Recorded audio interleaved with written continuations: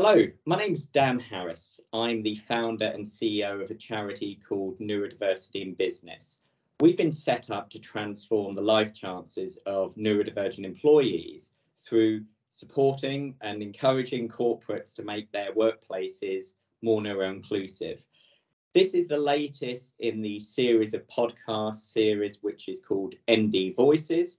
Um, and I'm really thrilled today to be here with um, couple of real strong advocates in our field. Um, Emma McNally, who's the CEO of Tourette's Ad- uh, Action, and also Ione Georgofgas, and you'll pronounce that better for me in a second, but she's a lead advocate for, for Tourette's Action and also an adult with Tourette's and, and importantly, also an occupational therapist. Um, now, why I was excited to have Tourette's covered in, in this latest of the series is because, unfortunately, Tourette's is underknown, uh, uh, underdiagnosed, it's underrepresented in society. Even within neurodiversity, it gets a bit of a rough deal in terms of funding, attention, and support. Um, and I think it's really important um, to have this as a front and center across the the ND uh, discussions. And you know, speaking to the 500 odd organisational members of NIB, I, I, I say this to you is that let's be inclusive in how we talk and think about neurodiversity rather than excluding certain topics. Um, so, Emma, Ione, why, why don't you introduce yourselves first of all? Hi, my name's Emma McNally, as you've said. I'm the CEO of Tourette's Action, um, and I've also got a son with Tourette's syndrome. So that's kind of where I decided to come into the charity and where I come from as my background from it. And I'm Ione Georgakis and I am the lead advocate for Tourette's Action. I'm an adult with Tourette's and ADHD, and the sort of main aspect of my role is leading awareness sessions for employers and businesses and government organisations, all about tics and Tourette's, inclusion, kind of reducing barriers and doing some myth busting. It's a real passion of mine. Great. Well, we're, we're all about myth busting at uh, NIB because um, that, that's our raison d'etre is to, to make uh, neurodiversity um, acceptable in society and talked about. So that's great. Um, so let me ask the, the first question, and Emma, I might direct this at, at you um, leading up the organisation. So yeah. tell me, what's your perspective on neurodiversity and the profile and attention it's getting, particularly in the corporate world, maybe compared to two or five years ago? Well, basically, in society, there's like I think the figures now is it between 15 and 20% of us are believed to be neurodivergent. And in the past, it wasn't believed to be anywhere near that. So we were kind of forgotten. And I think the working world, it supports neurotypical people. So the adjustments are already in place for them by default. So we need to now be advocating more to push for the adjustments for people who are neuro, neurodiverse um, to get them the adjustments that they need within the corporate world.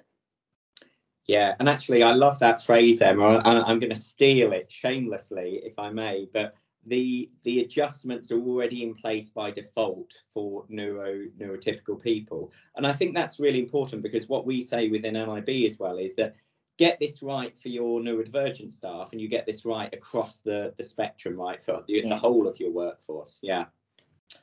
Um, okay, well, look, I'm I'm going to throw it to Ione because you're an adult with Tourette's, and you can you can just kind of myth bust for us for a few minutes. You know, tell us what this is. You know, how does it present? How variable is it? And then, importantly, you know, how should we in society um, support? Um, and also, how does the corporate world need to do more? What a good selection of questions. I'm going to break it down and, and look at them one at a time. But so essentially, Tourette's is a is a neurodevelopmental neurological condition that typically starts in childhood. The key features are tics, which are involuntary sounds and movements, and we often see these symptoms sort of start to emerge at around five or six. They peak in adolescence and get worse, which is expected with many, many difficulties, and many cases reduce into adulthood. However, what we know is that adults who experience symptoms of Tourette's throughout the course of their life might uh, have more treatment resistant or chronic symptoms, and therefore they might need a little bit more support to access the workspace safely and effectively, and to really harness and honest, honour their skills because they certainly have lots of them. The prevalence across society, it's estimated to impact 300,000 people in the UK. So the first myth that I love to bust is that this condition is not rare. Mm. It it has a similar prevalence to autism. It, the international prevalence is the same as well. It's not just a, a condition that impacts in Western countries. Um, and actually, some recent research out of the US suggests it could be as common as sort of one in 50 young people have this condition. So we need to be discussing it and addressing it mm. a lot more than we are. The second difficulty with Tourette's is that it remains an incredibly stigmatized condition, and people, whether they mean to or not, make 101 assumptions about the condition and about the type of employee that they may be bringing onto their team if they have this condition, this diagnosis. And what we know is that the misunderstanding around Tourette's being the swearing condition is uh, really unrepresentative. So, uh, coprolalia, which is the utterance of socially unacceptable words or swear words, impacts around 10 to 15% of the Tourette's community. However, it makes up for nearly 100% of what we see on our TV screens and in the media.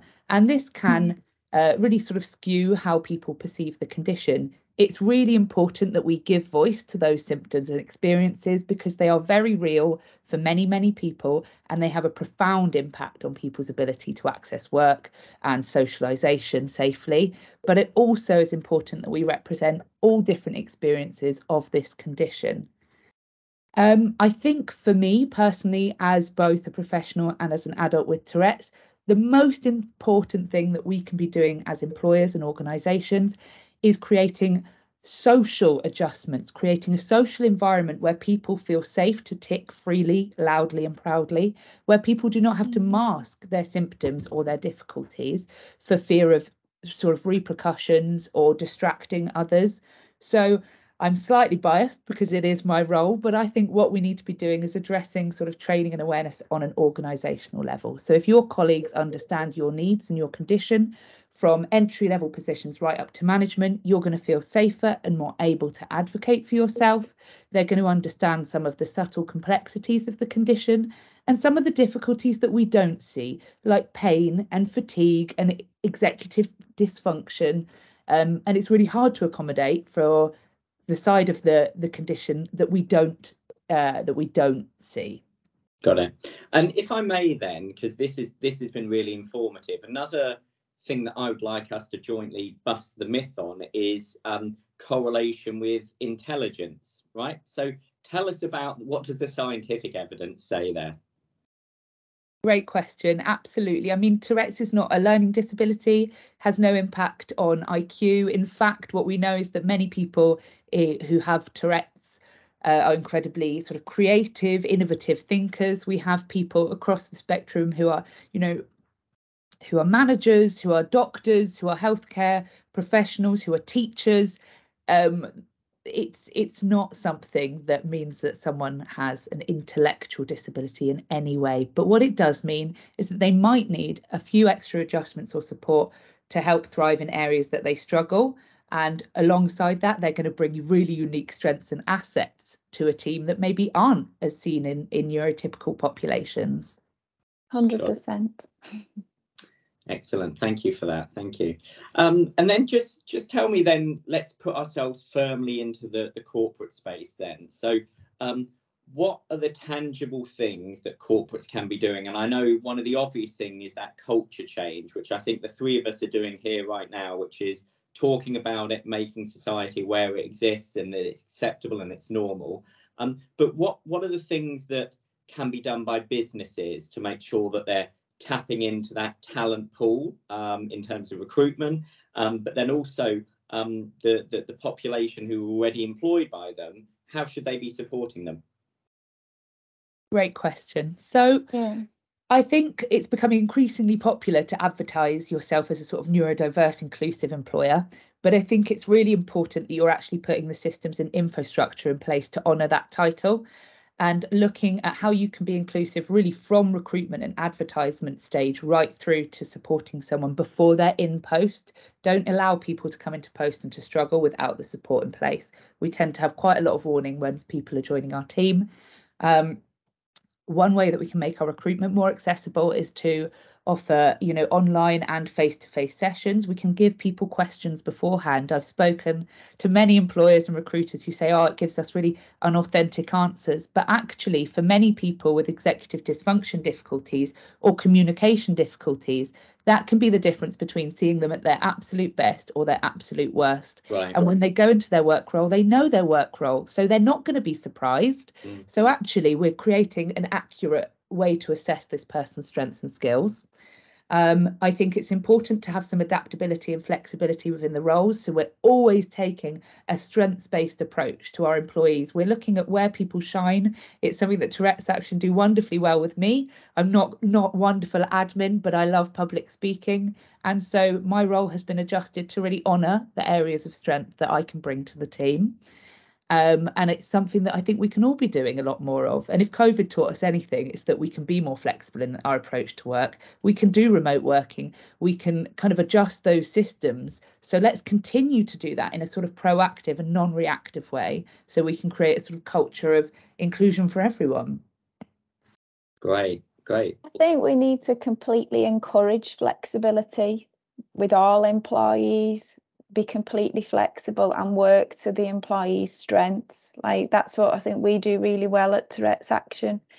Um, and one thing that I'm really passionate about is that we we need to educate the corporate world so they actually really understand what Tourette's is because there's huge misconceptions around it. People don't actually understand what it is.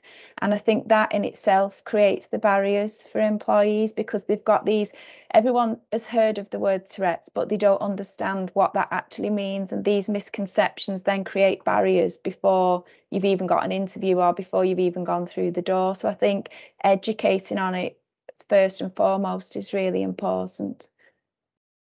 Great. Well, Emma, I, I think as I thought I would do, I learned a lot from you today, and I hope that also our corporate members and our community partners have as well. And you know, just keep up that good fight of raising awareness and um, keeping this front and centre.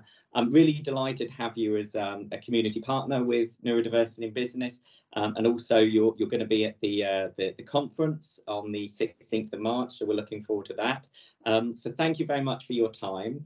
And um, speaking now to the corporate members, please do pay attention to this topic. Please do remember that neurodiversity itself needs to be inclusive. It needs to encompass all elements of neurodiversity, not just the most high profile ones or the topics which get the most attention.